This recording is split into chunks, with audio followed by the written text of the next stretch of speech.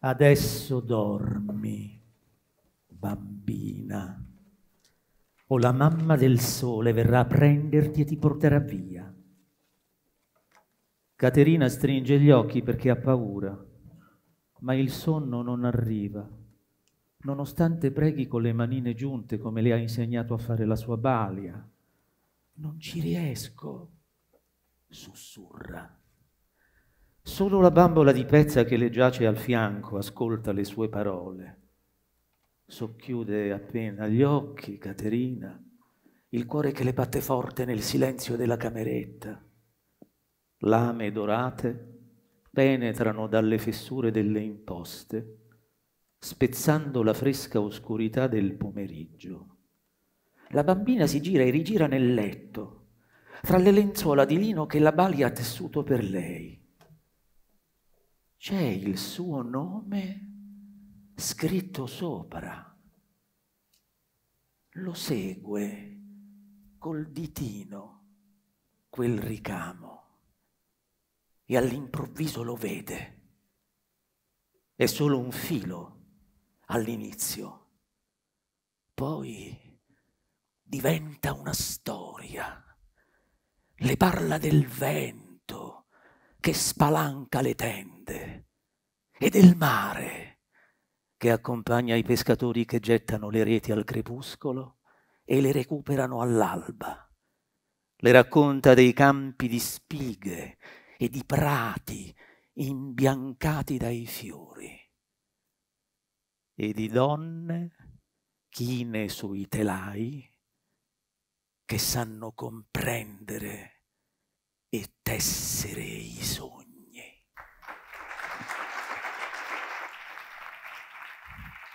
Era la stanza della tessitrice edizioni Garzanti. Chiamiamo sul palco Cristina Caboni, che apre questa diciottesima edizione del premio Navicella Sardegna. Buonasera Cristina. Quindi sesto romanzo, che libro sarà? È un libro... Uh che parlerà sempre di donne, che ci sarà una storia familiare intensa io amo moltissimo le donne la loro forza, quello che loro sanno creare, perché comunque sono creatrici di tantissime cose, non semplicemente di, non, non solo di figli, ecco, non, non è, quello è riduttivo, ma loro creano veramente tante cose. Io sono cresciuta con, uh, ho avuto il privilegio di crescere anche con i miei nonni, ho visto veramente delle donne fortissime che avevano poco e avevano però una grande sorellanza che le sosteneva e questo mi ha sicuramente eh, in qualche maniera uh, ispirata. Ecco, le sue donne sono sempre animate dall'amore, eh, dalla passione e soprattutto sono sempre donne protagoniste della loro vita, mai comparse nel bene e nel male. Sì, sono donne forti, sono sicuramente eh, donne che hanno lottato, che hanno combattuto, che hanno eh, comunque raggiunto quelli che erano i loro obiettivi e sono state sempre capaci di avere anche un sorriso e dunque di vivere in maniera positiva con la speranza. E secondo me è quello che le distingue, avere la speranza. Nei suoi libri lei ci ha insegnato un sacco di cose su mondi particolari, il mondo dei profumi, il mondo delle api. Ecco, ehm, quanto c'è della sua vita eh, in questi mondi? Ci sono i miei occhi sicuramente, il modo in cui io vedo tutto quanto, ci sono le mie passioni, il mio interesse per tutto quello che mi circonda, per, uh, per le cose eh, belle che, che, noi, eh, che, noi, abbiamo. E naturalmente il fatto che io uh, abbia svolto un mestiere così bello come l'apicultrice mi ha permesso di rendermi conto di tante cose, per esempio con l'olfatto, perché chi ha a che fare con le api deve assolutamente annusare e noi abbiamo dimenticato come si fa. Invece in quel momento che tu stai là devi sentire e allora tutto cambia. Ecco, questo Cristina, diciamolo per chi non lo sapesse, eh, lei è una scrittrice ma si occupa ancora oggi della, dell'azienda apistica di famiglia. Che cosa fa? Come si trascorre il tempo quando si ha a che fare con un'azienda così, così particolare, un'attività così particolare? Dunque io prima in realtà facevo molto di più, ma adesso scrivo tantissimo, perciò eh, diciamo che è abbastanza, si è ridotto quello che io faccio. Comunque eh, il lavoro è molto bello perché si occupa eh, di stare, di, cioè dell'allevamento proprio delle api, più che altro io faccio quello, che ehm, eh, in realtà è una cosa abbastanza tecnica, comunque eh, non canto per le api come, come la, la, la, protagonista del mio romanzo, non canto con, per le api, ma è un lavoro eh, strutturato, eh, molto scientifico e molto, molto preciso. Ecco. Sentiamo adesso insieme le motivazioni della giuria per lei, lette dal nostro Marco Spiga. Vive in provincia di Cagliari con marito e tre figli, se le chiedete che mestiere faccia, non dirà la scrittrice, preferendo parlare dell'attività di apicultrice nell'azienda di famiglia, dove si dedica in particolare alla cura delle api regine. Eppure i suoi romanzi, Il sentiero dei profumi, La custode del miele e delle api, Il giardino dei fiori segreti, La rilegatrice di storie perdute e La stanza della tessitrice, hanno ottenuto un enorme successo, un premio selezione Bancarella e numerose traduzioni all'estero. Un'altra sua passione sono le rose, delle quali coltiva una grande varietà di specie, sarà anche per questo che qualcuno l'ha definita il fiore all'occhiello della narrativa sarda contemporanea. Premio Navicella Sardegna 2019, Cristina Caboni. Chiamiamo sul palco Cristina per premiarla il presidente del Consiglio Comunale di Olbia, Giampiero Mura. Eccolo che arriva. Buonasera, benvenuto. Io prima di tutto porto il saluto dell'amministrazione comunale, del sindaco Settimonizzi, a tutti eh, gli ospiti che si trovano stasera questa, per questa occasione. Ringrazio anche l'onorevole Cucureddu che ancora una volta ha scelto come location questo bellissimo teatro e soprattutto ha scelto la città di Ulbia. E ci ha dato l'opportunità quest'anno di accompagnare il premio Navicella nel suo diciottesimo compleanno, cioè Olbia accompagna il premio, il premio Navicella verso la maggiore età. Voterà fra poco. Anche Perciò... io vorrei ringraziare, sono molto emozionata e felicissima di questo riconoscimento che per me è straordinario e vorrei ringraziare appunto tutti quanti che hanno pensato a me per questa grande onorificenza. Grazie a tutti. Siamo noi che la ringraziamo. Premio Navicella Sardegna 2019 a Cristina Caboni. Grazie.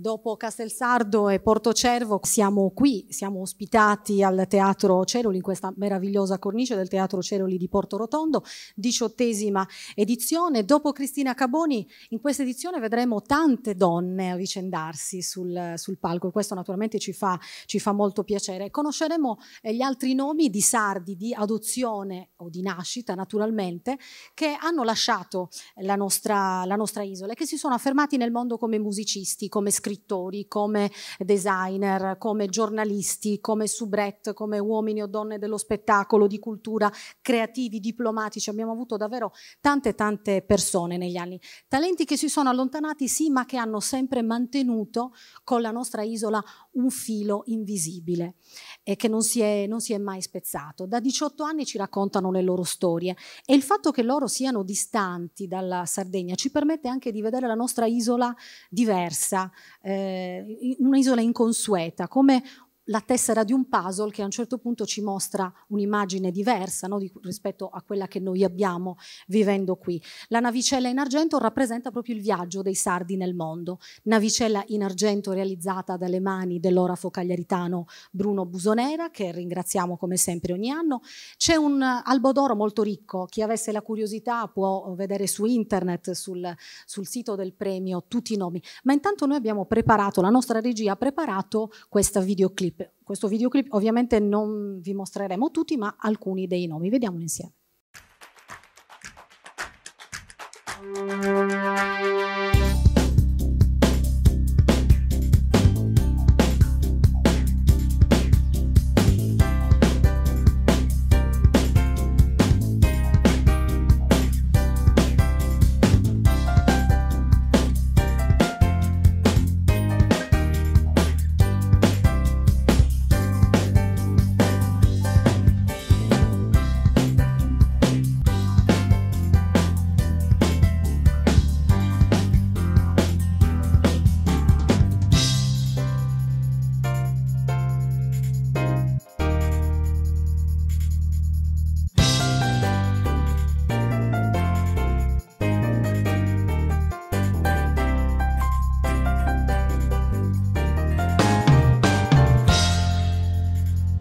Ecco, li avete riconosciuti, tanti erano davvero famosi. Si facciamo un applauso. C'era il presidente emerito Francesco Cossiga, c'erano giornalisti, c'era Valeria Marini, insomma, sono nomi che non hanno bisogno di tante presentazioni. Continuiamo con questa eh, kermesse per chiamare sul palco il prossimo premiato che lavora in alcuni degli ospedali più attivi e di successo del, del Regno Unito per servizi, per assistenza specialistica di alto livello. La sua carriera è iniziata qui ed è proseguita all'estero e gli è valsa una serie molto lunga di eh, grandi e importanti riconoscimenti. Giovanni Sanna. Buonasera. Benvenuto, buonasera, un piacere averla qui. Grazie. Allora iniziamo a raccontare la sua storia. Lei è cagliaritano. Sì. Si è laureato a Cagliari. E mi sono laureato a Roma, avevo iniziato a studiare a Cagliari. La specialistica forse ha fatto a Cagliari? E ho fatto la specialistica a Cagliari. Mi sono laureato a Roma e poi ho fatto la specialistica a Cagliari. Mi sono laureato a Roma con il professor Carcassi. E, e ho conosciuto il dottor Passio al tempo e lui tornava a Cagliari. sono tornato a Cagliari con lui e ho deciso di fare reumatologia, mi piaceva la disciplina. Ecco, com'è che ha deciso invece di rimanere poi nel, nel Regno Unito? Cos'è che, che, l'ha spinta verso questa direzione? È stato un percorso un po' lungo e complicato, eh, quindi quando sono tornato a Cagliari E ho avuto la possibilità di crescere eh, professionalmente con il professor Alessandro Mattiè a Cagliari, il professor Giuseppe Passiu, e ho imparato molto con loro, mi hanno aiutato a crescere e ho fatto eh, vari percorsi, ho fatto il dottorato di ricerca qua e per completare il dottorato sono stato fuori un anno a Londra, eh, sempre eh, con l'appoggio eh, diciamo, locale di qua. E al rientro, quando sono tornato in Sardegna, sì, lavoravo, però e non vedevo mh, mm, uno sbocco di carriera a lungo termine al tempo che potessi, diciamo così, pianificare. E, mh, essendo stato a Londra ho avuto l'opportunità di vedere un po' com'era l'organizzazione là ho, mm, ho, visto che era molto stimolante da un punto di vista dell'organizzazione del lavoro. Ecco, qual è la differenza tra il nostro sistema sanitario e quello inglese? Ci sono molte cose in comune, in comune e anche di differenza. Il Servizio Sanitario Nazionale è in comune, abbiamo un sistema molto simile da questo punto di vista ed è il fiore all'occhiello, eh, penso in entrambi i paesi, eh, così come in altri paesi europei. E quello che eh, a volte cambia è il tipo di organizzazione, eh, vedere un po' a lungo termine eh, la programmazione dei servizi, il tipo di organizzazione per quanto riguarda lo sviluppo di nuovi, diciamo, nuove, nuove figure. I medici giovani in Gran Bretagna, eh, per esempio, vengono indirizzati eh, eh, dall'inizio oh, con l'idea di scegliere una disciplina che gli consenta di lavorare e tutto un po' è programmato. Non soltanto la medicina, ma anche altre passioni, ad esempio i viaggi. Le piace molto viaggiare. Dove è stato ultimamente? Siamo appena stati in Argentina, io e mia moglie, mia moglie che è là, è una ricercatrice nel mio stesso ospedale, e lei è italo-argentina. E, Bella l'Argentina? Eh, sì, molto. E siamo stati invitati entrambi eh, per fare un tour di visiting professor. Eh, siamo stati in tre diverse università in nove giorni, quindi è stata un po' una tappa forzata da un posto all'altro, distanze lunghe eh, dando lezioni e discutendo casi clinici in vari posti. È stato interessante perché, a parte ovviamente il lato professionale, conoscere come lavorano altri colleghi, altre realtà, a volte anche risorse limitate, e vedere un pochino gli stili diversi nell'approccio dei casi clinici, molto interessante. E poi ci sono stati eventi sociali bellissimi. Il suo legame con l'isola è fortissimo, lei ha anche dei figli che vivono qua in Sardegna, quindi torna appena può. Sì, certo, sono i miei figli qua e ovviamente non li vedo eh, quanto vorrei vederli o tanto spesso, questo mi dispiace. Eh, però insomma loro mi capiscono e mi appoggiano e ovviamente... Verranno a trovarla, avranno anche l'occasione. Molte, molte volte. Quest'anno è stato un po' difficile, però sono venuti a Londra tante di quelle volte che veramente si sentono un po' londinesi anche loro. Bene, siamo pronti per eh, ascoltare le motivazioni della giuria. Cagliaritano, laureato in medicina con 110 lode, dopo la specializzazione in reumatologia e il dottorato di ricerca in fisiopatologia delle malattie reumatiche, ha lavorato in Messico e a Londra, dove vive tuttora. Interessato in particolare alle malattie autoimmuni sistemiche, ha operato e opera presso alcuni dei più importanti centri medici della Gran Bretagna, il Guy's Hospital, il St. Thomas Foundation, il Homerton University Hospital, il Royal Free Hospital. Vanta il primato di essere stato a 36 anni il più giovane primario del Regno Unito.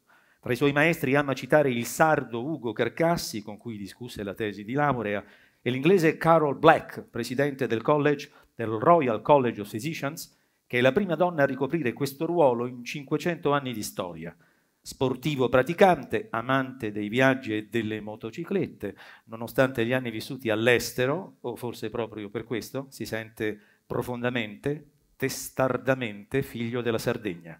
Premio Navicella Sardegna 2019, Giovanni Sanna. Per la sua premiazione chiamiamo sul palco Mondino Ibba, che è presidente dei medici, dell'Ordine dei Medici, ed è anche giurato del premio Navicella. Benvenuto, ciao. Sì. Io voglio dire solo una cosa per quanto riguarda il mio, mio collega Giovanni Sana. Eh, con lui siamo andati a insegnare un po' di reumatologia e immunologia agli inglesi. non abbiamo potuto insegnare il calcio, gli insegniamo un po' di reumatologia e di immunologia. Giovanni Sana è per noi un fiore all'occhiello senza rose, perdoni la Caboni, eh, perché è per tanti di noi un punto di riferimento, nel senso che quando ci sono problemi seri, qualche volta i nostri chiedono un parere a lui e solitamente ne, solitamente ne usciamo bene. Questo per noi è un grande motivo di orgoglio. Lui è, un, è l'emblema della scuola cagliaritana. Ugo Carcassi, che lui ha citato, è stato un maestro di tutti noi. E quelli che oggi fanno il medico bene sono quelli che sono stati allevati, sono stati istruiti e si sono formati alla scuola del professor Carcassi. Quindi questo è un merito particolare che noi riconosciamo con grande soddisfazione a Giovanni Sanna. Grazie di esserci. Arriva la navicella. Eccola qua. Mondino Iba la consegna a Giovanni Sanna, premio Navicella 2019.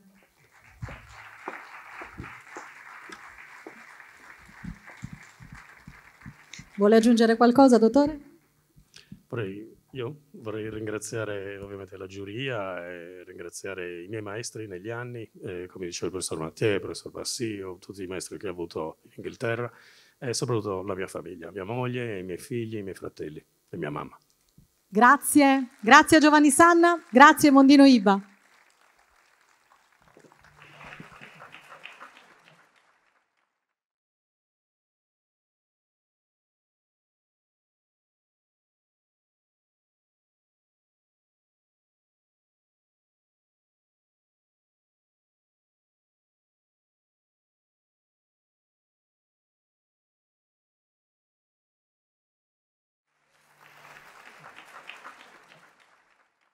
Una figura come quella di Sergio Marchionne non poteva raccogliere un giudizio univoco, devo dire abbastanza tranquillamente, questo anche per non creare panico, insomma, tra chi ci sta seguendo, però vi devo dire che su Atlantia invece il titolo c'è, il titolo e l'effetto sul titolo c'è. Eravamo abituati a pensare alla Cina come a un produttore di beni di bassa qualità, ora evidentemente non è più così.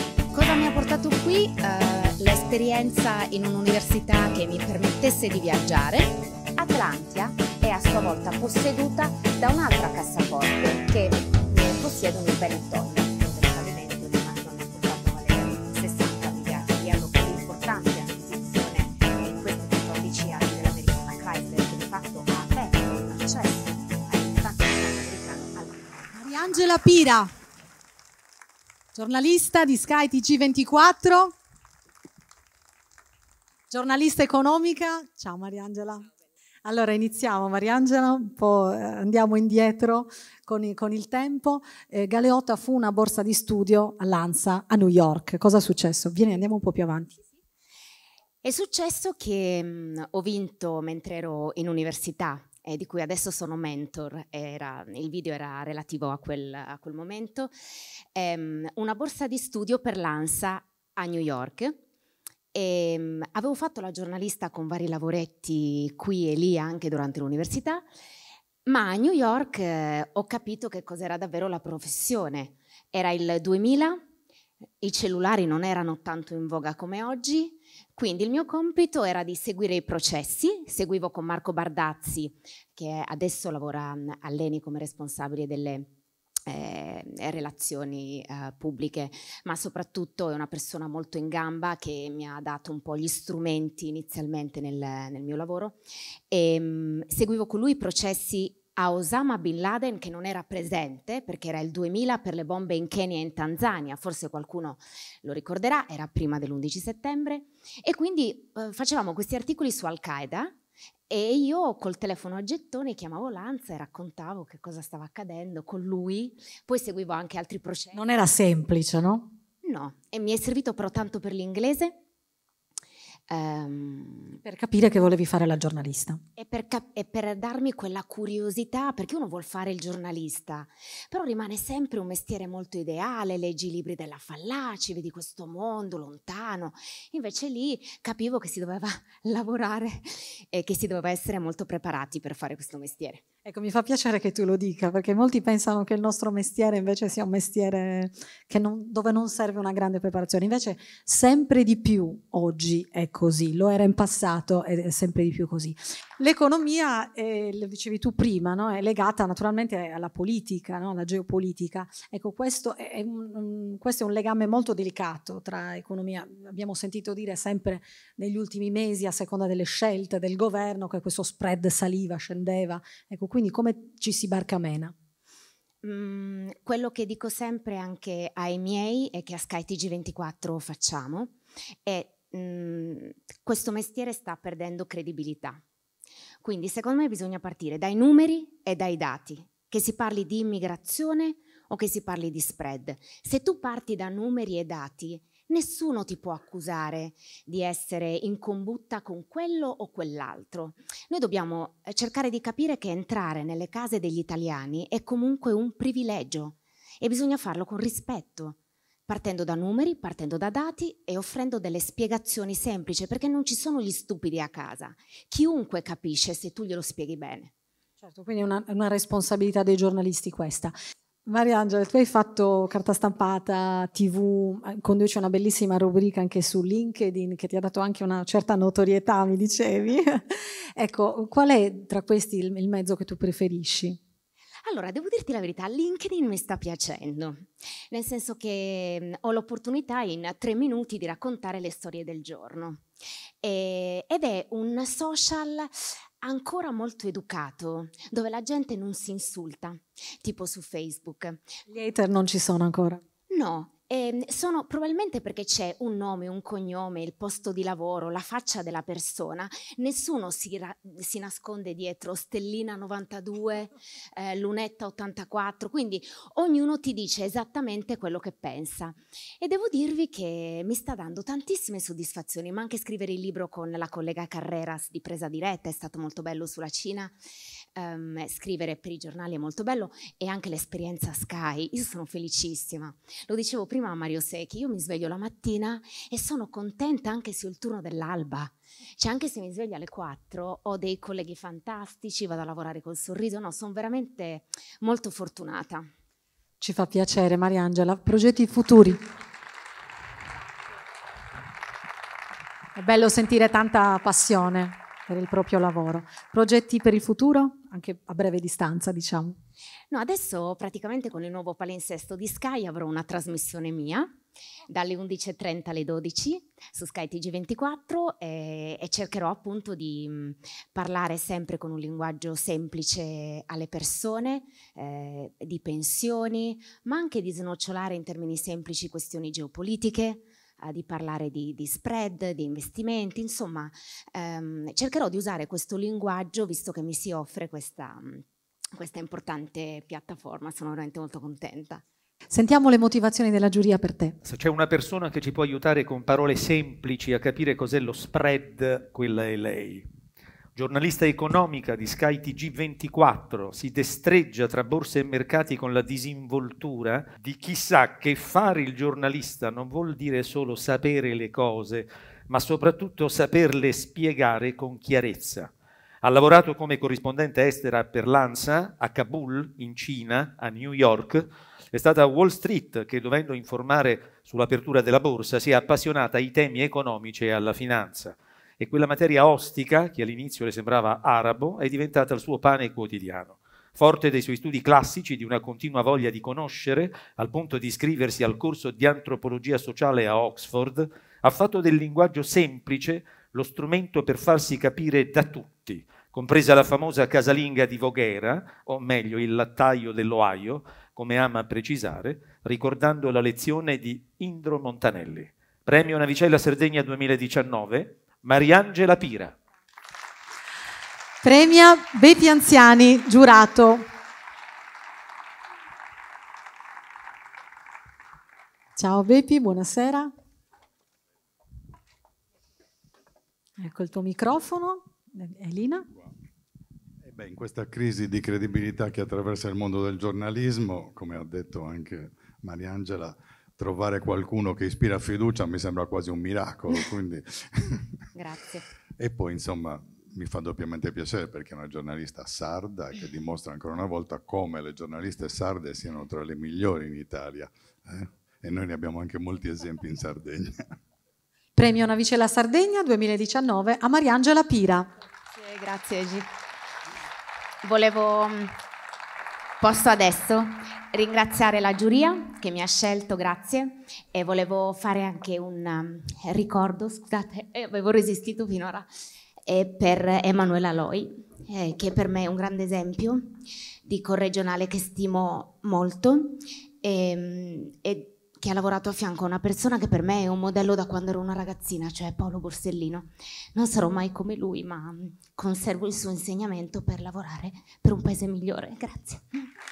Grazie. Grazie a Mariangela Pira, grazie a Beppi Anziani. Grazie, ciao Mariangela.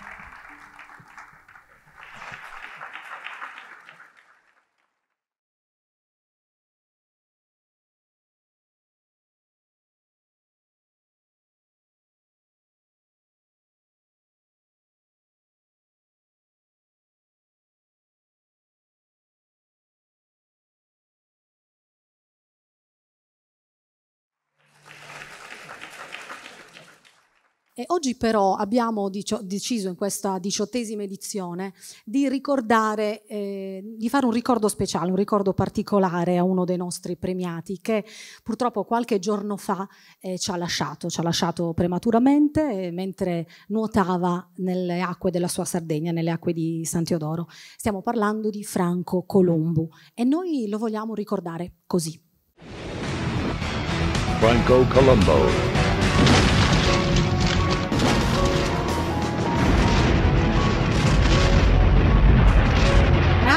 Columbu.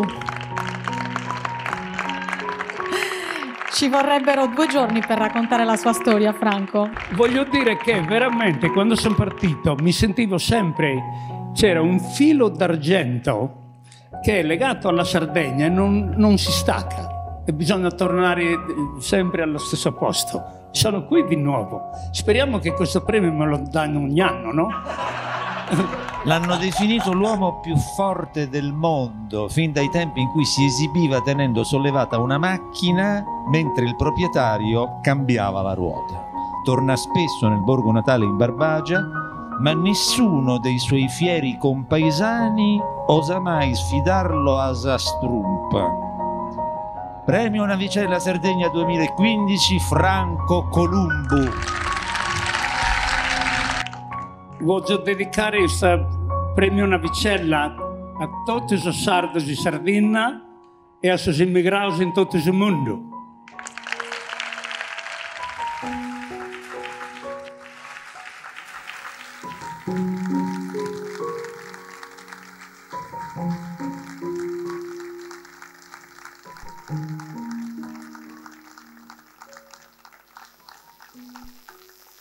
E lui era davvero un emigrato speciale, non lo dimenticheremo mai.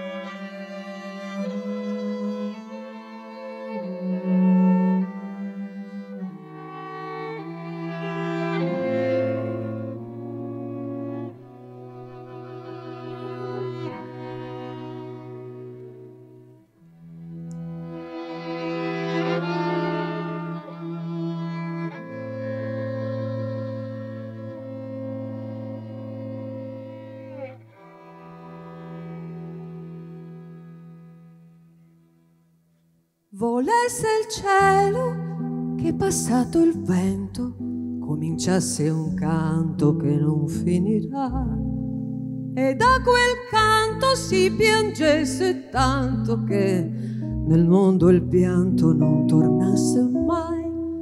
Volesse il cielo che nascesse l'angelo dalla passione che la vita dà.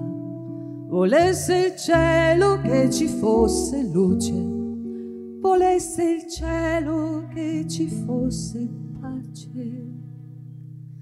Oh, se la gente fosse differente e cantasse sempre i canti tutti suoi, poter andare nudi a due a due e cantare solo tutto quel che vuoi. Volesse il cielo che la vita fosse una bellezza che non sai cos'è.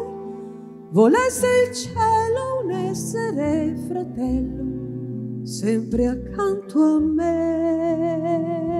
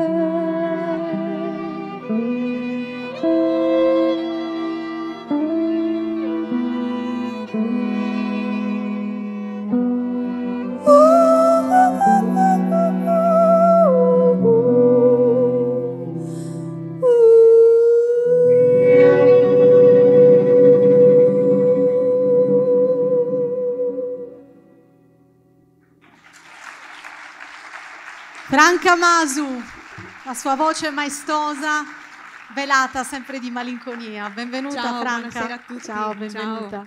Grazie per essere qui. Grazie, lo dico io, perché è veramente un onore, un grandissimo privilegio, un momento importante anche di questa mia traiettoria. Franca Maso è la più importante rappresentante della cultura eh, catalana, della lingua e dell'antica cultura catalana. Eh, la tua carriera, Franca, inizia molti anni fa.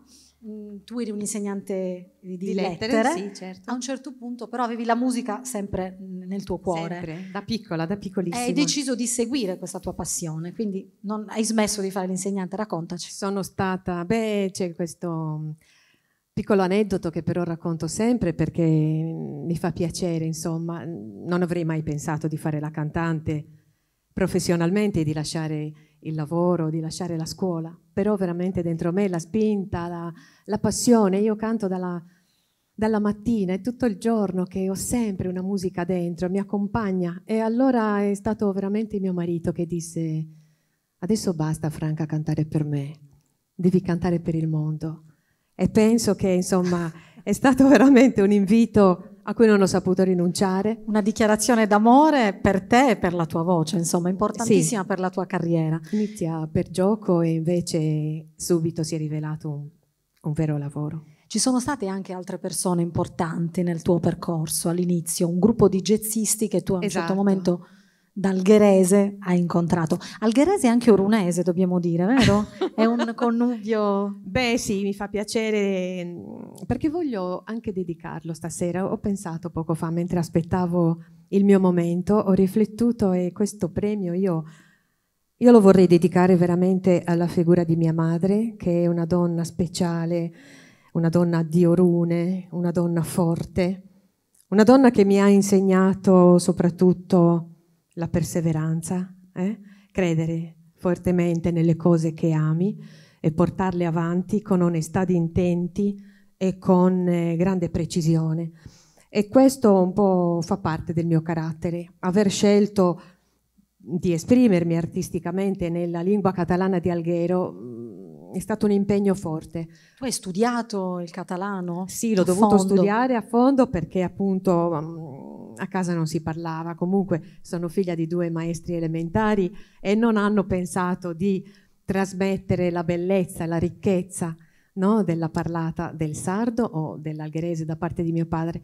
Per cui l'ho appreso da grande, me ne sono veramente innamorata, è il mio vessillo e diciamo proprio con orgoglio che nel mondo, ovunque io vada, porto certo me stessa, la mia voce, il canto, però la bandiera è quella di Alghero e quindi dell'isola. La Catalogna come... come ti ha accolta? Beh, sono sempre molto attenti a quello che arriva dall'altra parte del mare e è stata un'accoglienza forte, importante, anche perché arrivava un po' un vento nuovo musicalmente parlando con quello che io ho proposto mm, nel 2000, siamo quasi... Eh? L'anno scorso hai ricevuto una, un premio molto importante, un'onorificenza molto importante. Credo che tu sia stata la prima italiana a riceverlo, l'unica forse. No, diciamo la prima donna di Sardegna, perché ci sono state altre Creude, San Giordi, anche appunto di Alghero. È un riconoscimento importante, il governo catalano che riconosce il valore dell'impegno, di quello che tu hai profuso, di come tu hai portato con forza, con eh, perseveranza, come dicevo prima, questa sonorità, questa nuova musica eh, che risuona mm, in lingua algherese. Non soltanto musica franca, ma anche poesia. Eh, molti ti definiscono anche una poetessa. Tra l'altro, proprio a maggio hai ricevuto un premio, il premio Stana, per la poesia, perché eh, Franca scrive anche le, le, sue musiche, anche se so che tra poco ti cementerà anche in qualcosa di nuovo nell'interpretazione, come sì, fatto stasera con questo Io non, non riesco a definirmi brano. poetessa, devo dirti la verità. Io scrivo parole per, per canzoni, scrivo i testi delle mie canzoni, racconto delle storie, racconto di me, della mia vita, di quello che mi accade intorno, racconto di me come donna del Mediterraneo, come donna moderna non credo che siano delle poesie, però se a qualcun altro quei versi arrivano come poesia, io ne sono ugualmente onorata. Adesso chiamiamo, ah no, prima le, sentiamo le motivazioni della giuria, il nostro Marco Spiga. Vieni Marco. Una figura di donna mediterranea, materna e seduttrice, discreta e ribelle, tenera e aspra, sentimentale e sfacciata Così l'ha definita una nota rivista musicale tedesca. Ha iniziato ad avere successo quando ha scelto di cantare nella lingua di Alghero, la città in cui è nata e vive. Il mio viaggio, alchimia, acquamare hanno proiettato sulla ribalta della notorietà internazionale le sue straordinarie doti canore, in cui si fondono sfumature jazzistiche e intense sonorità mediterranee. Oltre che in catalano, canta anche in spagnolo, in portoghese, con fascinose interpretazioni personali del fado e del tango argentino. Il CD live Deu Anch, se ho pronunciato bene, contenente canzoni interamente composte da lei, dimostra che il suo Viagia ha raggiunto una sicura solidità stilistica e allo stesso tempo preannuncia intriganti prospettive ancora tutte da esplorare e sperimentare. Premio Navicella Sardegna 2019 Franca Masu. Chiamiamo Franca per te. Benvenuto, buonasera. Buonasera a tutti, comandante eh, della direzione marittima, il comandante Trogu. che è assente e ho il piacere io di rappresentarlo in questa bellissima manifestazione. Grazie. Franca, procediamo allora con la sì. premiazione. Arriva la nostra navicella in argento per Franca Masu. Premio Navicella Sardegna 2019.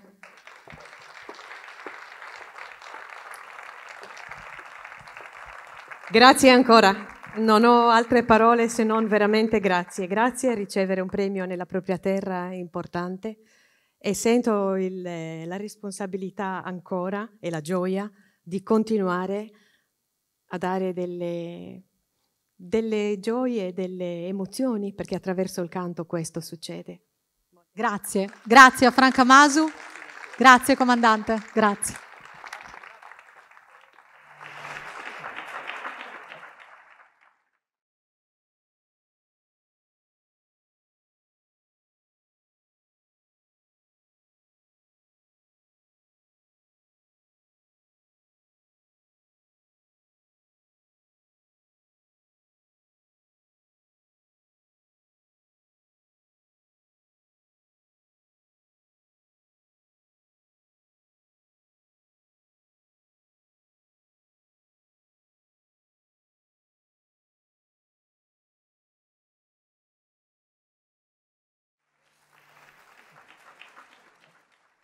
Perché cosa c'è? Eh? Avete paura di un cavallo?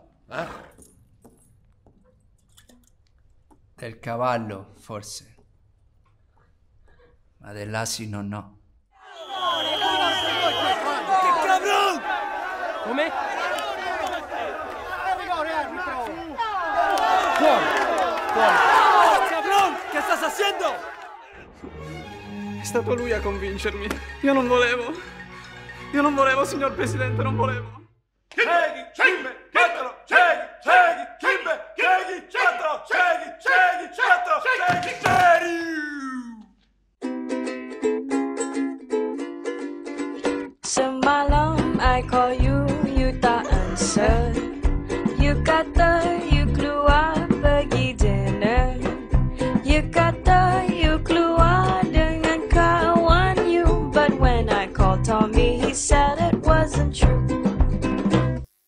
Jacopo Cullin, attore poliedrico, reduce dal successo dell'uomo che comprò la luna. Ciao Jacopo, benvenuto. Raccontaci qualcosa di Gavino Zoccheddu.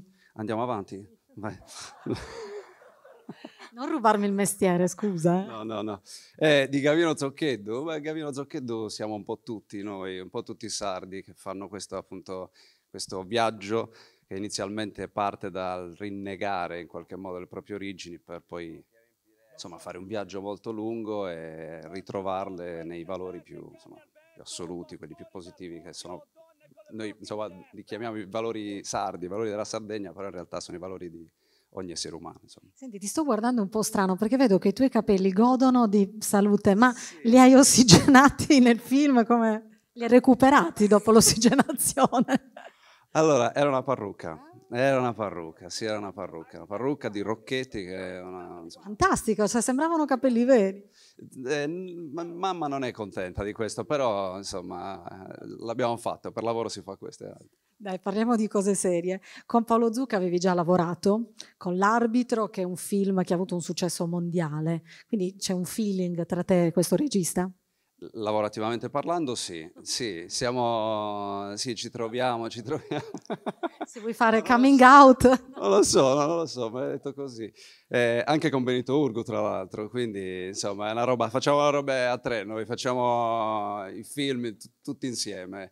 Eh, il secondo è andato bene, insomma, vediamo, vediamo come va il terzo. Ascolta, ma per l'arbitro hai girato davvero tutto il mondo. Com'è stato? Sei stato poi anche in Argentina, so che è stato un viaggio quasi del cuore per te. Ritorna stasera all'Argentina, eh? Sì, sì, beh, l'Argentina con Mazzuzzi che era una- un oriundo. Eh, in realtà, paradossalmente, eh, abbiamo girato di più addirittura con questo, perché con L'uomo che comprò la luna abbiamo veramente, siamo partiti dalla Sud Corea e abbiamo fatto tutto il mondo, passando per Praga, la Spagna, Argentina, Messico Eh, devo dire, il Sud America, è, almeno per me, che- perché anche l'uomo che comprò la Luna è stato girato in parte in Sud- proprio a Buenos Aires, quindi ci siamo legati particolarmente. Tra le, le- le cose più difficili, probabilmente per un, per un attore, c'è proprio quello di far ridere. Quando è che tu hai capito che, che ci riuscivi e che ci riuscivi bene? No, non l'ho capito. Eh, la gente ride, ma non lo, vedi, non lo, non lo so. Eh, non, non credo che sia una cosa che si può studiare o imparare. Quindi eh, ho la fortuna di, di, insomma, di riuscire a, a- far scattare la risata. e- Ad esempio, quando eri a scuola, mi chiedo, no? Quando eri a scuola, alle scuole elementari, alle scuole- facevi ridere oppure no, eri di quei bambini serissimi, ragazzini serissimi? No, a casa ero serio, però facevo le imitazioni dei professori, del preside, sì, un po' mi divertivo. Mi ricordo, avevo sei anni e mia zia stava partorendo siamo andati in ospedale c'era un pover'uomo che zoppicava e io a sei anni mi sono messo dietro, e, insomma, facendo ridere un po' tutta la corsia e da lì forse è iniziata la mia voglia di imitare gli esseri umani in generale. In tv i primi passi li hai mossi su Videolina, e questo ovviamente ci fa piacere perché è l'emittente della, della Sardegna, la nostra emittente, e quindi ricordaci un po' quegli anni. Eh, sono stati anni pazzeschi, anni, in realtà mesi, perché è stato il 2004, era novembre del 2004, e io avevo 22 anni e mi è cambiata la vita nel giro di tre settimane, cioè prima passavo e non mi notava nessuno e poi improvvisamente la gente si dava le gomitatine e diceva ah c'è il gaggio di Videolina e dicevo ah ok insomma Avevi partecipato a una, a una- soddisfazione insomma. a una trasmissione di talent, come si chiamava? Ah sì, la primissima era 100, si chiamava 100, era per giovani talenti emergenti e poi ovviamente sono passato dai La Pola a come il calcio su Maccheroni. Ricordo che allora dicevano i registi da noi, dicevano, eh, ma quello è diverso, è bravissimo, quello sicuramente farà, perché comunque tu eri, eri, molto al di sopra no, rispetto diciamo, alla, alla media dei, dei concorrenti. E poi la Pola, anche con la Pola ti sei divertito, ci hai fatto divertire anche tanto, ti sei divertito però anche tu. E mi sono divertito molto perché sono una banda di pazzi scatenati e è stata ovviamente un'opportunità enorme poter eh, entrare nelle case di tutti i sardi perché lo fai letteralmente già facendo la televisione ma poi facendo commedia in qualche modo diventi, diventi un familiare. Ecco. Me lo fai io Roberto? Non posso. Senza pigiama non mi esce. Fammi- ho so- però anche a Roberto. Ma perché? Ma che- se- Bellissimo. Ah, Roberto! Facciamo un applauso. Eh, non ti vergognare. Allora, devo dire che con Paolo Zucca ridiamo perché abbiamo detto, cioè se mai un giorno dovessi persino arrivare a vincere l'Oscar, sicuramente in fondo alla sala qualcuno mi dice, ah Roberto, sicuro. Sì, sono quelle cose iconiche, capito? Che rimarranno per sempre nella storia. Te ne devi fare una ragione. Già, già fatta, eh? Sì, sì. Ultimamente ti stai occupando anche di regia, Jacopo, quindi TV, hai fatto tanta TV, andiamo avanti ancora. TV, invece la regia come la vedi? È nelle tue corde? Eh, no- non, lo so questo, mi piace, ma perché ridi? Mi piace, mi piace molto, mi piace moltissimo. Adesso finora ho fatto solo dei cortometraggi. e, insomma, spero presto di fare un mio film, insomma, un mio lungometraggio. Ma ci stai già lavorando? Sì, l'ho, già scritto, però insomma è, è molto lungo, è un processo molto lungo quello della, della creazione di un film, si scrive, si, si devono cercare dei fondi, poi si produce, poi c'è il montaggio, insomma, fra dieci anni lo vediamo. Veramente lungo, eh? no? pensavo dieci mesi, no? No, no, è un po' più lungo, un po' più lungo, il cinema è un po' più, a tempi un po' più dilatati. Poi altri registi, qui alla- al nostro premio abbiamo avuto tanti, tanti registi. Eh, con chi ti sei trovato particolarmente bene? Tra l'altro qui in Sardegna ormai c'è proprio un filone aureo da questo punto di vista. Anche quest'anno abbiamo visto al, al Festival di Venezia Igort, eh, presentato un bellissimo film, poi c'era anche credo Bonifacio Angios. Insomma, eh, c'è tanto, dalla Sardegna sta arrivando tanto fuori. Sì, per fortuna. C'è una diciamo, nuova generazione eh, di registi sardi che forse stanno anche proponendo un cinema leggermente diverso da quello che è sempre stato fatto in Sardegna. appunto Paolo Zucca, con- con- soprattutto con l'ultimo, con l'uomo che comprò la luna, ha insomma, sdoganato un po' l'ironia, soprattutto l'autoironia, che speriamo sia un, un percorso percorribile anche per altri registi. Anche lui ha mescolato un po' i generi, perché sì, è una commedia, però c'è anche un po' il western. C'è di tutto, perché lui è un fan di, ovviamente di Sergio Leone, Kubrick, quindi ha cercato, ha cercato di mettere dentro un po' tutto. L'hai detto prima tra le righe, ma è vero che vuoi vincere l'Oscar? Eh, sì, Allora, io il discorso ce l'ho. Il discorso l'ho fatto in bagno, l'ho fatto anche in inglese. Anche l'abito? Ma anche una buona pronuncia, tra l'altro. Sull'abito ci devo lavorare ancora. Il discorso, il discorso è anche bello, devo dire commovente. Sì. Anche rimandiamo anche questo. Eh beh, 10-11 anni. Sentiamo le motivazioni della giuria per te, Jacopo. Di acqua sotto i ponti ne è passata da quel tormentone Oh Roberto, con cui dagli schermi di Videolina iniziò a divertire il pubblico. Scuola di recitazione, Actor Center di Roma, apparizioni sempre più frequenti in film sempre più importanti. Non ricordo nulla, qualcosa di rosso, al di là del lago, Angeli e Diamanti, L'arbitro, presentato al Festival di Venezia, La stoffa dei sogni di Gianfranco Cabiddu, presentato al Festival internazionale di Roma. Intanto sviluppava un'intensa attività di documentarista e di regista, distinguendosi nella tematica della disabilità e del mondo paraolimpico. Se ulteriore consacrazione era necessaria, ci ha pesato- pensato l'esilarante ruolo rivestito nel recente L'uomo che comprò la luna, in cui gareggia con Benito Urgu a chi fa ridere di più. Premio Navicella Sardegna 2019, Jacopo Cullin. Cullin Veneto. Premia l'assessora del comune di Olbia, Sabrina Serra. Anche Kullinowski, se volete. Si è fatto ispirare da Cristina. Buonasera, assessore. Ciao Jacopo. Ciao. Devo dire che sono molto contenta di premiarti io qui questa sera perché noi abbiamo avuto l'occasione di conoscerci durante l'Olbia Film Network, questo nel mese di giugno, appunto un evento bellissimo che facciamo nella nostra città. E prima di conoscerti avevo letto una tua intervista dove ti chiedevano quale personaggio tu senti più tuo no? e, tu, e tu avevi risposto mi sento un po' un mix di tutti questi personaggi e a volte sono anche serio, ho dei momenti di serietà, sono pochi ma li ho, però devo dire che la tua solarità e la tua gioia e il modo di affrontare la vita così con allegria credo che siano veramente i segreti del tuo successo, quindi continua a trasmetterci questa allegria. Grazie. cioè, grazie. Grazie mille. grazie. Arriva la navicella. Premio Navicella Sardegna 2019 a Jacopo Cullin. Grazie, grazie davvero. Eh, lo- ne approfitto perché la prendo sempre in giro mia madre, per- mi ha mandato anche un messaggio prima di quelli romantici, così. Però ci tengo insomma, a ringraziarla perché per avermi insegnato quei valori che appunto sono stati rappresentati anche nel film, che sono lealtà, rispetto, riconoscenza e soprattutto il sacrificio che insomma paga a quanto pare. Grazie. Grazie, grazie a Jacopo Cullin. Grazie assessora, grazie, sì.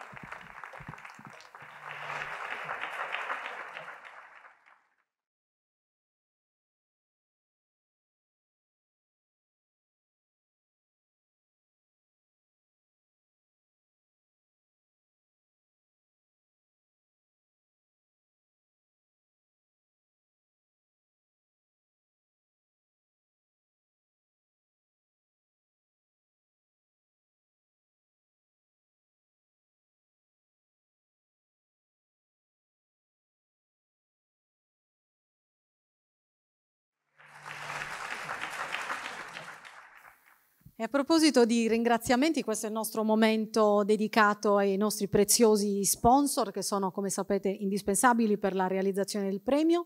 Allora dobbiamo ringraziare Tirrenia, compagnia italiana di navigazione, Banco di Sardegna. Ringraziamo anche Welcome to Sardinia, Eurotarget Viaggi, Bruno Busonera, Orafo in Cagliari, Hotel Villa del Golfo, Hotel Gabbiano Azzurro di Golfaranci, 11 Travel Group. Grazie di cuore a tutti quanti. E dobbiamo anche ringraziare per il patrocinio il- la Presidenza del Consiglio della Regione Sardegna, grazie naturalmente al Comune di Olbia, l'abbiamo già fatto ma lo rifacciamo volentieri, che ci ospita, e grazie anche al Consorzio del Comprensorio di Porto Rotondo. Ringrazio per i miei gioielli Antos Pietredure di Cagliari e la stilista Meriem per gli abiti delle nostre bellissime assistenti che sono Elina Crecere e Paola Lorenzoni. Grazie ancora.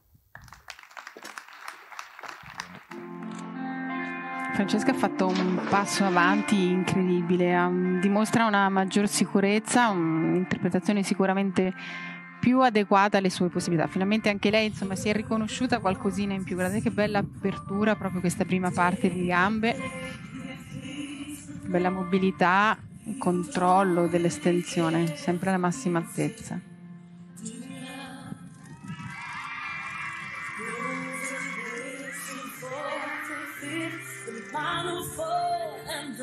Major lift. The baffled king composing hallelujah. Apertura per l'Italia, anche per loro, spettacolare. altissima con questo salto raggruppato. La grazia e la bellezza di Francesca Deida.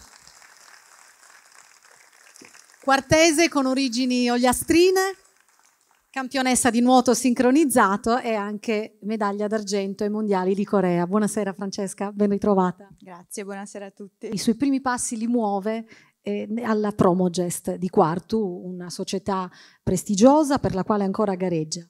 Sì, ho iniziato a sette anni per puro caso, perché ho visto delle ragazze in piscina che facevano sincro, allora ho chiesto mamma, ma vorrei provare anch'io e poi ci sono rimasta fino adesso. Lei adesso fa parte anche del gruppo sportivo Fiamme Oro di Roma, quindi si divide diciamo, tra queste eh, due mh, società. Il suo programma giornaliero di allenamenti com'è? Immagino faticoso. Abbastanza tosto, faccio 8-9 ore al giorno di allenamento, 5 al mattino, 3, 3 e mezza al pomeriggio, poi dipende dai periodi dell'anno, se abbiamo competizioni magari ci alleniamo di più, pure le domeniche, dipende un po'. Naturalmente richiede un allenatore, eh, un bravo allenatore, no? questo è uno dei segreti del successo di un atleta. E lei è molto legata alla sua allenatrice da sempre, che è Anna Abate, che credo sia presente stasera. È qua, è qua con me. Ed è, Anna per me è anche un po' una seconda mamma. Lei da subito ha visto che avevo qualche capacità, un po' più delle altre, e mi ha sempre spinto a lavorare e ad arrivare dove sono arrivata. fi- e quindi io non posso che ringraziarla. Quali qualità? Facciamo un applauso giustamente anche all'allenatrice. Quali qualità servono per fare il suo lavoro? Ma eh, un po' le doti fisiche, cioè naturali, quelle aiutano, però secondo me quello che serve è la passione, la determinazione, la voglia di lavorare, non avere paura di far fatica perché se no non si va da nessuna parte. Abbiamo visto nel video anche una straordinaria acquaticità, lei sembra quasi un delfino, a metà tra un delfino e un cigno. Sì, mi dicono un po' che sembro una farfalla che vola sull'acqua perché mi dicono che sembro leggera. Poi io in realtà fatica, faccio fatica, ve lo assicuro. Sì, lo immaginiamo che costi fatica. Qual è il suo rapporto anche con le altre sette compagne della squadra? Voi siete in otto, giusto? Sì, in acqua gareggiamo in otto, ma il rapporto fuori dall'acqua, quello che penso è che non dobbiamo essere tutte amiche, perché è difficile come in altri posti di lavoro, non possiamo essere tutti amici. Però poi quando entriamo in acqua diventiamo un unico cuore, un'unica testa e solo così si può andare a, a raggiungere un risultato importante. Quindi immagino che prima di entrare in acqua non dovete aver avuto magari discussioni prima. Com'è? Fate anche un lavoro psicologico particolare, immagino. cerchiamo sempre di cancellare tutte le cattiverie, tutti i pensieri negativi, perché sennò davvero in acqua poi dobbiamo essere sincronizzate al massimo. Quindi magari se io sto pensando a quella mi ha fatto un torto, non, non gareggia nemmeno bene, quindi meglio lasciare tutto fuori dall'acqua. Poi magari si vede, si vede anche all'esterno. Qualche settimana fa in Corea, i mondiali di Corea, un medaglia d'argento. Sì, siamo riuscite a superare un bel po' di nazioni, non ce l'aspettavamo, è stata una soddisfazione enorme, era una nuova disciplina che hanno inserito quest'anno ai campionati del mondo e noi in un mese siamo riusciti a preparare l'esercizio e a portarlo a medaglia, a podio. È la mia prima medaglia mondiale, quindi è una soddisfazione enorme anche quella. Ecco, ci spieghi un po' come funziona?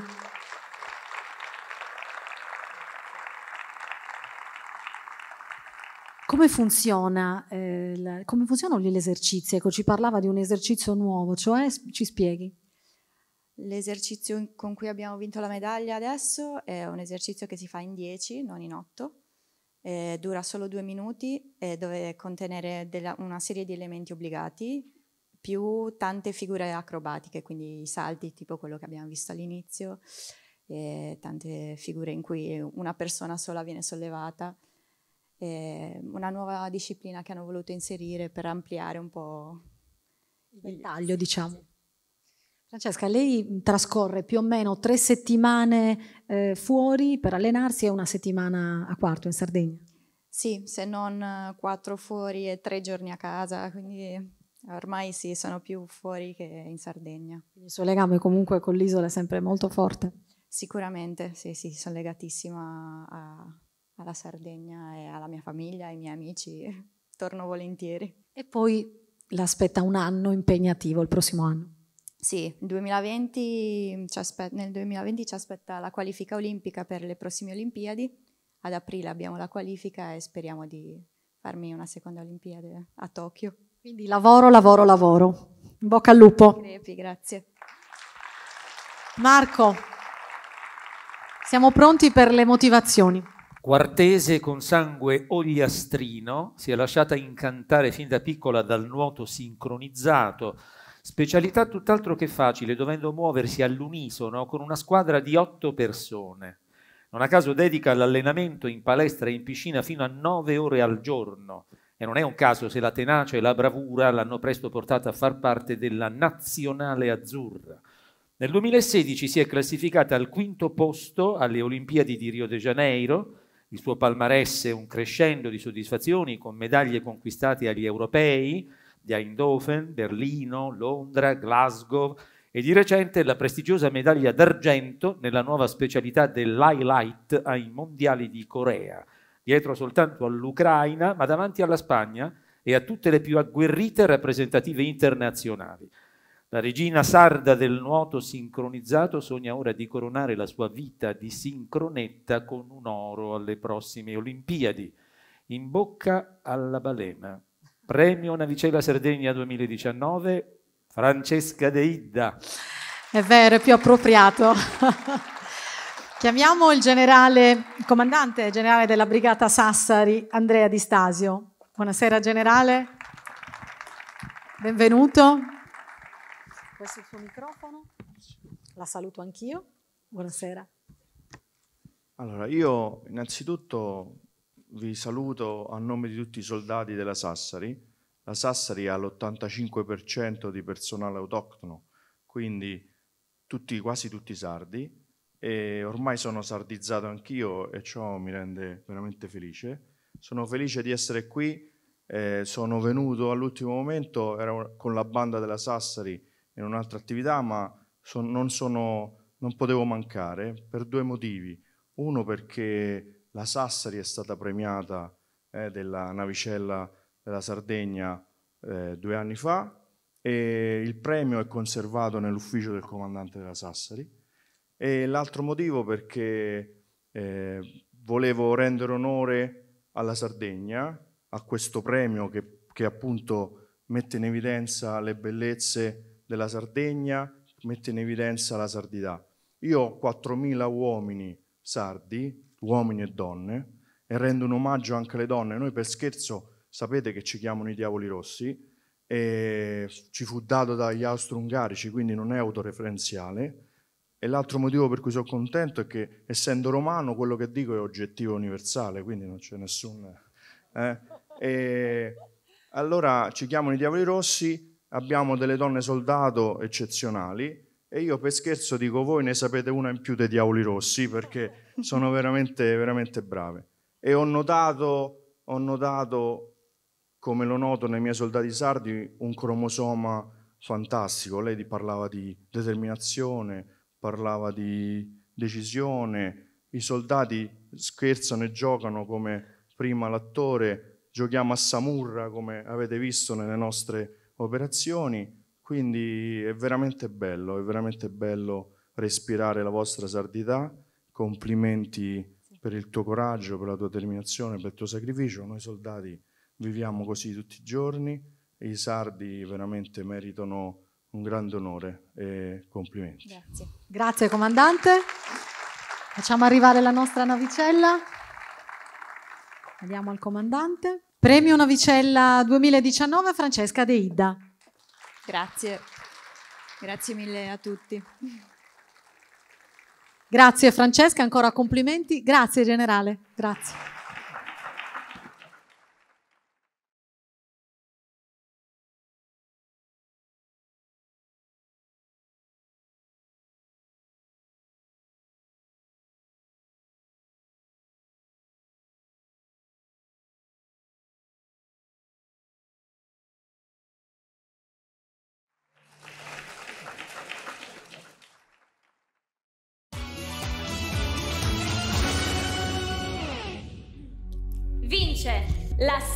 Edizione di Italia's Got Talent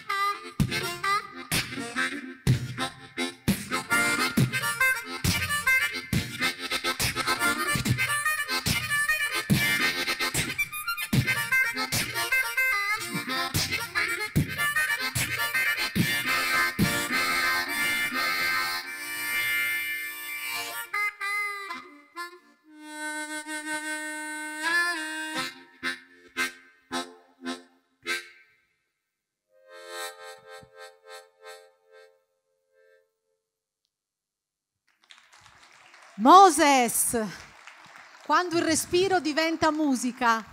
Buonasera. Buonasera. Faticoso. No, bello.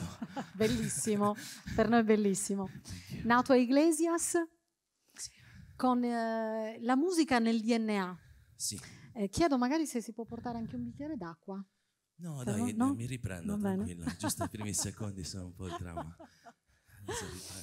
Eh, hai studiato, ha studiato pianoforte da piccolo, musica classica. Sì, un po', ma facevo finta, giusto il tempo per non farmi picchiare, poi no scherzo. Era, era una cosa che amavo la musica, non amavo tantissimo eh, fare musica di, di, altre persone perché lo, lo, reputavo quasi un'offesa a loro, proprio non sapendola fare già dall'inizio. Eh, odiavo il dover imparare qualcosa che non fosse nella mia semplicità e quindi ecco diciamo che li ho, li ho fatti quegli studi proprio per capire cosa fosse in realtà la mia strada e quale, quale fosse in realtà. E poi come l'ha capito? Si è avvicinato al rap, al eh, beatbox? Sì, sì, è stata un po' la percussione vocale, un po' comunque anche eh, vivere, ho fatto teatro nella mia vita tantissimo, ho girato il mondo prima col teatro che con la musica e mi sono reso conto della diversità in termini di valore e quindi ho cercato di sicuramente mettere il mio di quello che sono nel campo senza troppi filtri, troppi pensieri a riguardo e ho cercato semplicemente di mettere nella mia musica quello che mi piace sentire da me, il migliore esemplare di me stesso, nient'altro, tutto qua.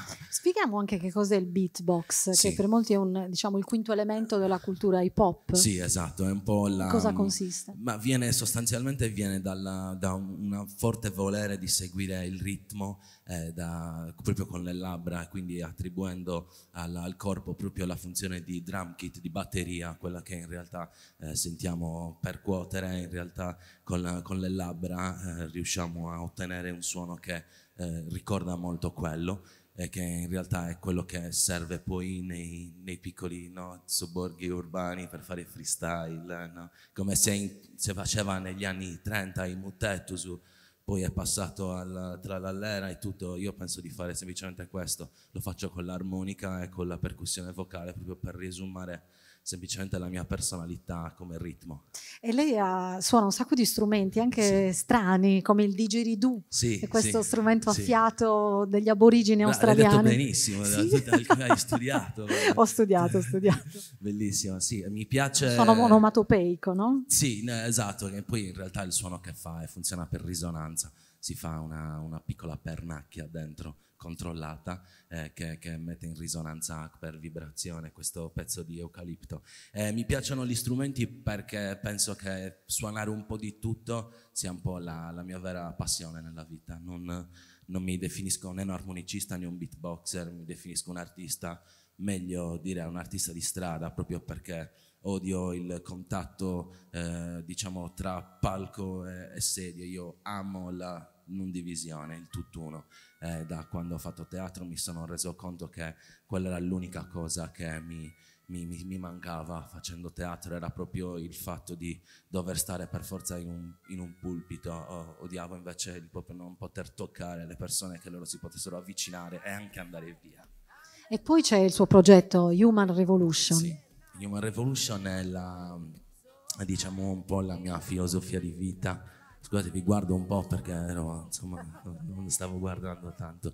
Eh, Human Revolution è un po' la, la mia, m- mia voglia di, di trasformare le cose che, che succedono nella vita eh, sempre con qualcosa di buono. eh, e io infatti dedico sempre, eh, quando faccio i concerti, ad esempio per il mio migliore amico che eh, sei anni fa mi ha lasciato, eh, mi ha lasciato con un sorriso oggi, eh, perché credo che dalle cose bisogna prendere il miglior motore che queste cose possono rappresentare e quindi trasformare quella, quella medicina, quel, quel dolore in, insomma, in medicina, in piacere, quella per me è la Human Revolution.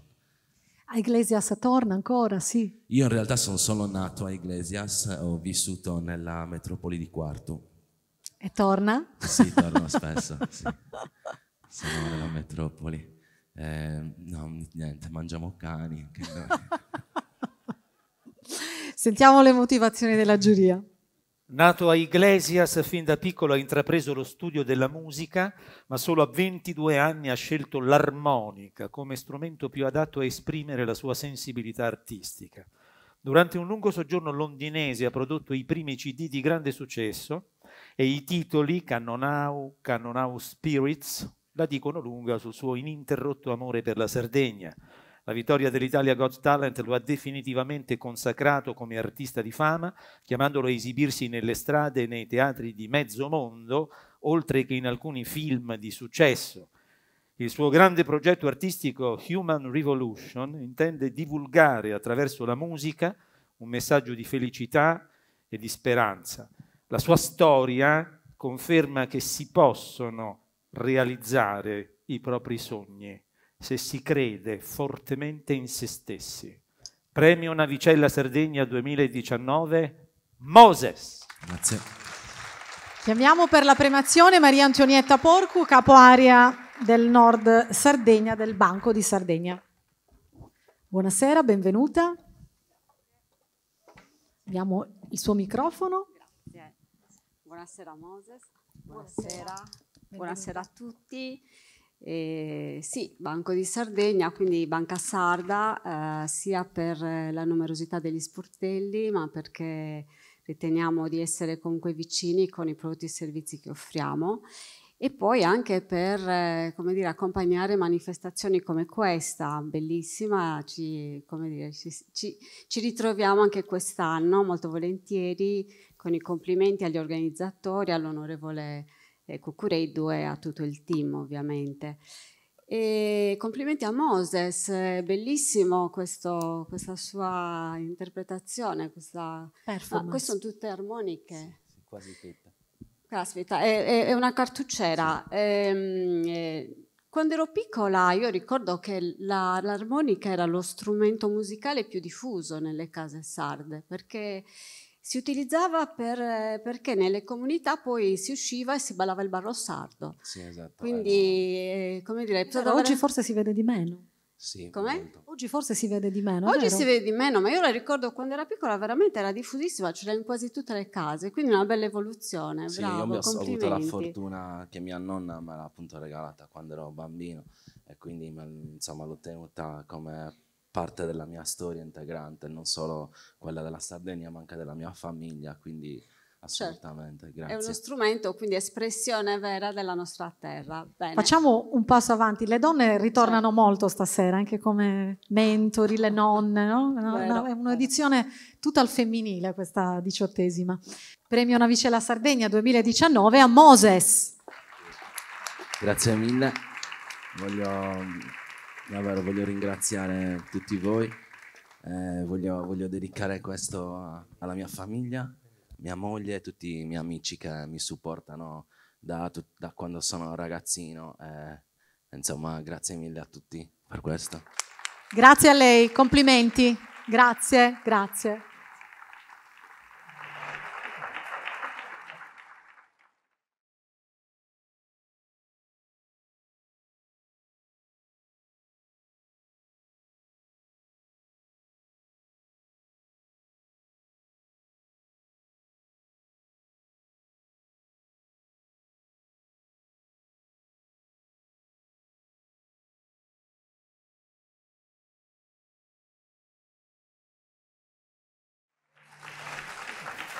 Abbiamo consegnato l'ultima navicella in argento questa sera ed è arrivato un momento importante, un premio speciale perché la giuria del premio Navicella ha istituito un premio, un riconoscimento per le personalità di spicco che lavorano nel mondo della comunicazione, un vero e proprio premio eh, nel premio, mh, che è stato intitolato alla nostra carissima amica Olimpia Matacena che ha presieduto il premio Navicella per molti anni, fino a quando appunto non ci ha lasciato eh, prematuramente. Una donna che si è dedicata con grande impegno, grande, grande passione proprio a questa, a questa manifestazione. Vi chiedo per Olimpia Matacena un applauso, intanto.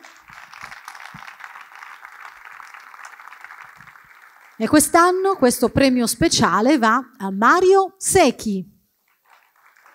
Fresco fresco di nomina direttore dell'Agenzia Giornalistica Italia. Da Cabras USA. Ti Ecco, piace adesso sempre stiamo- presentarti Sì, così?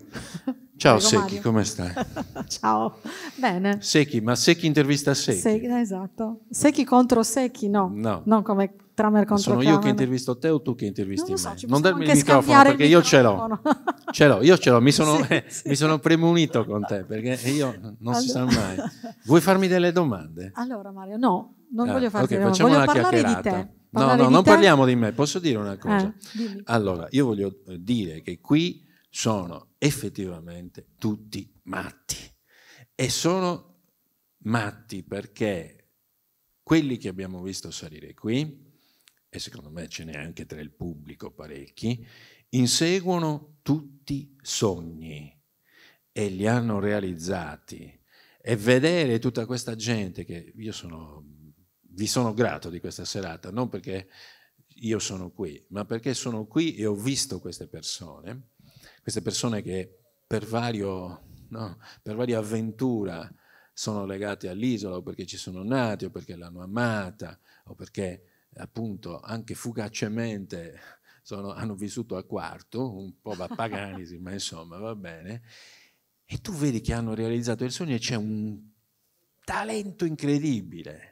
Talento, il talento, impegno, di, il talento, il talento di quest'isola che continua a sfornare persone che poi fanno parlare eh, di se stesse nel mondo, nel mondo. Noi siamo i più cosmopoliti d'Italia, io lo dico sempre, quando mi dicono i sardi sono isolani, sono chiusi, restano tutti nell'isola, non è vero.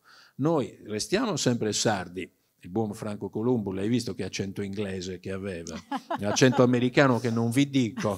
No, ha vissuto tutta la vita in America, aveva un accento, sembrava appena uscito da no, noi cavernicoli, insomma. E io ho conservato il mio accento, per fortuna, quando sento che qualcuno lo perde, secondo me non va bene, c'è qualcosa, c'è qualcosa di strano. Mario, Quindi io anche tu sono fai felice parte di però di questo parterre. Sì, anche io tu sono sei qua, un mi figlio avete- illustre del- della Sardegna. Ma illustre non lo so, figlio della Sardegna sicuro, qualcuno dice anche figlio d'altro, ma insomma va bene così, non ci sono problemi. Poi io faccio un mestiere difficilissimo, figurati, faccio il direttore di giornali e adesso di- di- della seconda agenzia del paese, che è l'AGI, che per me è un onore, è la gloriosa Agenzia Italia. Da che- luglio, vero? No? Sì, dal primo sì, luglio. sì, dal primo luglio. Tra proprio- l'altro, insomma, con una patata bollente non indifferente, la crisi. come, si crisi come diceva. Franco Columbu in inglese, bitticu su gasino, cioè una cosa mai vista. Sono, praticamente sono 68 giorni che non mi riposo. Ecco, raccontaci qualcosa. Tu che hai vissuto l'altro giorno, ti ho chiamato e mi hai detto, eh, sono qua. C'era, vieni, Non mi ha chiamato, avanti. ma cosa, ti- cosa ci dobbiamo Non dire? sono Io detto riuscita niente. a parlarci praticamente, perché una No. volta c'era il giuramento, una No, volta c'era. Di Maio. Ero nel casino più totale. Raccontaci qualcosa, qualche retroscena. Beh, la crisi più pazza del mondo, perché dunque io ho cominciato a seguire diciamo bene la politica italiana, ero molto piccolo, eh, subito dopo la maturità. Quindi 1989, 90, 91 ho cominciato a vedere veramente come, come funzionava il mondo. La mia prima conferenza stampa l'ho fatta con Andreotti, quindi potete immaginare, ero veramente con le braghette corte e mi ricordo Giulio Andreotti che Battesimo, entra insomma. in Parlamento così e io dico, accidenti, sto per cadere in una botola. E, è cambiato tutto e non è cambiato niente. Quando è stata aperta la crisi, Salvini ha aperto la crisi e tutti ci siamo detti, questo ha fatto una mossa eccezionale, ci siamo tutti... Abbiamo immaginato che lui avesse fatto la cosa più normale del mondo, cioè apparecchiare la crisi. Tu non apri la crisi se non è apparecchiata. Non aveva apparecchiato niente. Mancava tutto. Mancava tutto e quindi eh, la crisi lui l'ha aperta al buio provando a fare quello che nel linguaggio militare si chiama il blitzkrieg, cioè la guerra al lampo. Qua il generale sta facendo così sì con la testa, non si fa mai il blitzkrieg, mai. Rischiosissimo. Rischiosissimo e alla fine la crisi, quando tu la apri al buio, la crisi va dove non vuoi tu. Ed è finita che gli hanno fatto tecnicamente, chiamiamolo così, un ribaltone. Siccome tu non hai voluto dire niente di te stesso e No, sei io non invece voglio un premiato, niente. allora almeno ascoltiamo le motivazioni così Sì, almeno io qualcosa. guarda che io sono timido. Eh. Originario di Cabras, ha studiato giornalismo alla Luis di Roma e iniziato la carriera nel 1992 nella redazione dell'Indipendente. È stato caporedattore del giornale, vice direttore di Panorama e di Libero, direttore dell'Unione Sarda e del Tempo. Da luglio di quest'anno ha assunto la direzione dell'agenzia giornalistica Italia. Esperto di politica interna e internazionale, ha collaborato con le riviste di cultura politica Ideazione ed Emporion. Ha tenuto conferenze a Washington e Roma sulle relazioni transatlantiche. Ha partecipato all'International Visitor Program del Dipartimento di Stato USA e al NATO Program. Sue interviste sono apparse tra gli altri sul New York Times, The Zeit, China Daily, Al Jazeera. Non dimentico della sua sardità, ha accettato la presidenza onoraria della squadra di calcio del suo paese natale, nelle cui formazioni giovanili ha giocato nel ruolo di terzino. Premio Olimpia Matacena 2019, Mario Secchi. Grazie. Premia Grazie Franco molte. Cuccureddu, presidente del premio Navicella Sardegna. Eccolo qua. C'è eh, Franco. sono stato vice direttore anche del giornale. E poi ci sono tante cose. C'è Lista, ad esempio, che è un altro progetto bellissimo. Sì, c'ho Eh, List, c'ho, c'ho World Energy, che è la rivista di geopolitica dell'ENI. e- Tante cose, troppo lungo. sì. Eh, Mario, puoi prestare il microfono? Sì, per me è veramente un, un onore ed un piacere eh, premiare per due, per due ragioni. Premiare Mario Secchi, insomma, che è un volto familiare per tutti noi, per tutti gli italiani, perché oltre alle direzioni e vice direzioni che state elencate, anche il giornale l'aveva detto. eh. Sì, sì. Il- No, ma tranquillo, non- eh, lo- lo sc- abbiamo promosso. Lo scrive, lo- le, le motivazioni, tutte le motivazioni della giuria le scrive eh, così bene Aldo Brigaglia che, Dov'è Aldo? che- visto che prima, è qui sì. presente.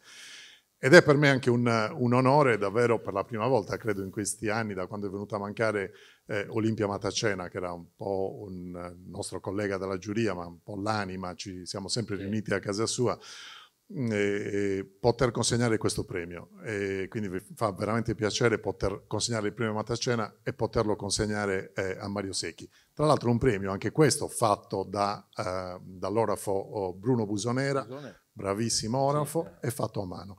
Quindi è un, veramente un grande piacere e se me la portate glielo consegno. perché- Grazie, io volevo dire una cosa. eh, dunque, io sono arrivato a 51 anni, eh, naturalmente mica finisce qua, va da sé, eh, a Dio piacendo naturalmente, e ho capito che ogni volta che uno crede di essere arrivato, in realtà sta cominciando un altro progetto. Il vero progetto non è quello che fai fuori, è quello che fai eh, dentro di te. E io tutto questo non l'avrei mai potuto fare senza l'aiuto eh, di mamma e babbo, che sono stati eccezionali e lo sono ancora. Sono due cabraresi, anzi due cabrarissi molto forti, molto forti. Grazie Cesare, grazie a Peppica. Salutiamo anche noi. Eh, è bellissimo. Bellissimo il premio. Complimenti, molto bella. Grazie. Grazie a Mario Secchi. Franco, dovevi aggiungere qualcosa? Sì, a me mi spetta questo compito di ringraziare, i ringraziamenti mi, mi associo, li ha già fatti Egi eh, prima, però devo doverosamente ringraziare i tantissimi che collaborano tutto l'anno per, eh, per questo premio, è il principale riconoscimento che viene attribuito in Sardegna e eh, la giuria è composta da persone che- con le quali ci vediamo diverse volte, ma ci scambiamo continuamente informazioni e notizie, perché tutti gli anni siamo arrivati alla diciottesima edizione, ci poniamo il problema di dire i grandi talenti sono finiti, probabilmente altri salti dopo s- sette, otto premi che diamo ogni anno, e invece tutti gli anni scopriamo veramente dei eh, grandissimi personaggi. Qualcuno lo inseguiamo per anni, eh? Moses siamo riusciti dalla- dal terzo tentativo a dargli il premio perché era in questo periodo sempre impegnato in festival un po' in tutto il mondo.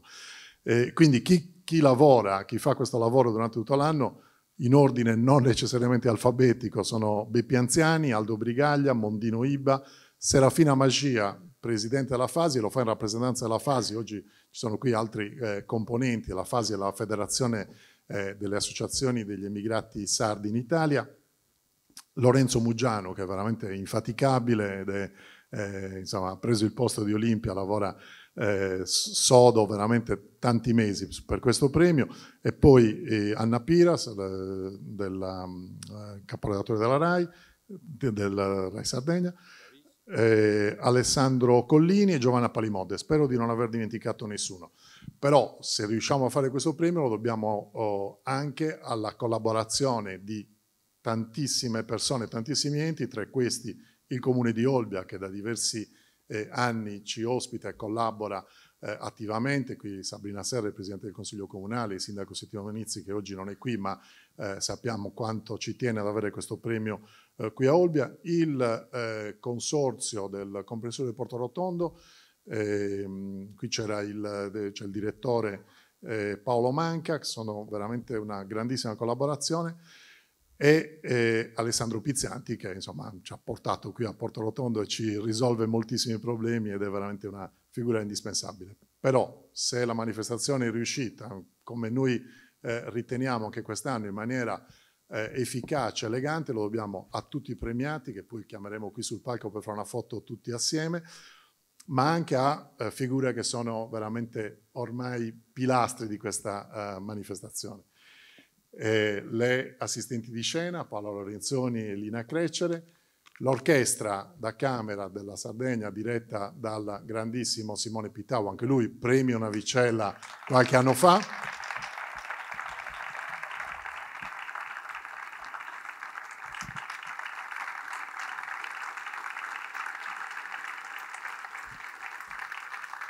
a tutti i nostri tecnici e voglio citare solo oh, Antonio Cauterucci che ci segue qui dall'alto e Simone Serra, regista e poi naturalmente tutti i service video, audio, luci e così via.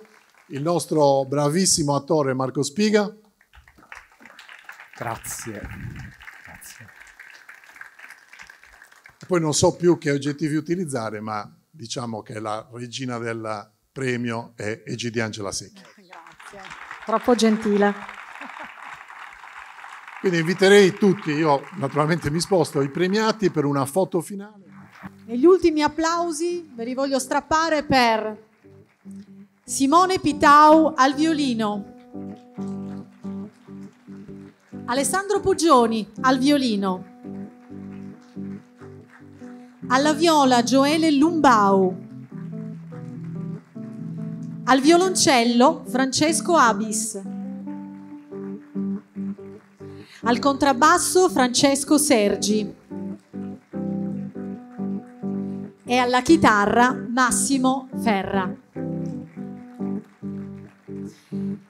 Io vi lascio adesso con l'Orchestra da Camera della Sardegna e credo con Mozart, Simone. Grazie per essere stati con noi, grazie a tutti e una buona serata.